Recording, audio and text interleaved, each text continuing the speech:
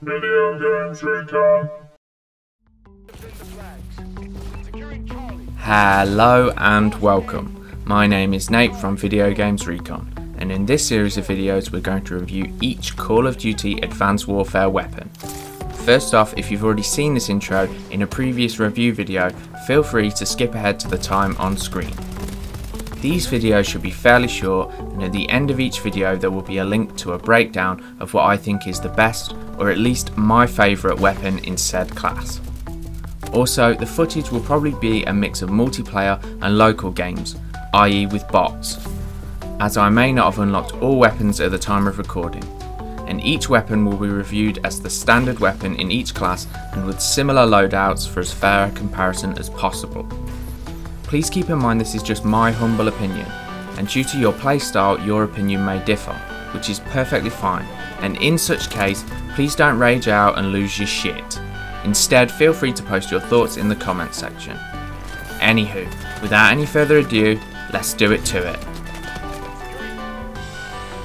Originally, when I first used the MAAWS, I thought it was a waste of time and a complete piece of shit as it only has one round and seems little different to a standard fire and forget rocket launcher. However, a viewer on one of my previous videos pointed out that you need to aim down sights to use its laser lock-on ability.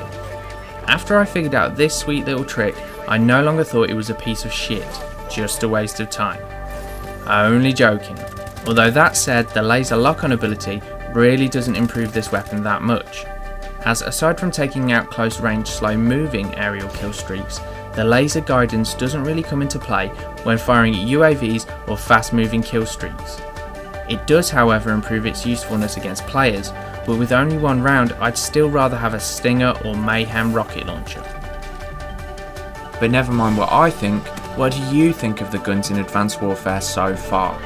Feel free to post your thoughts on the weapons in this class in the comments section. So, that just leaves me to say if you enjoyed this video, please help support us by liking, sharing, favouriting and subbing for more BS of a similar nature.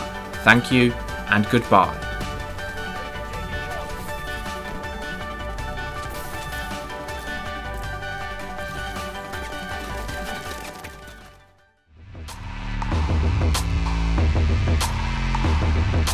We'll be right back.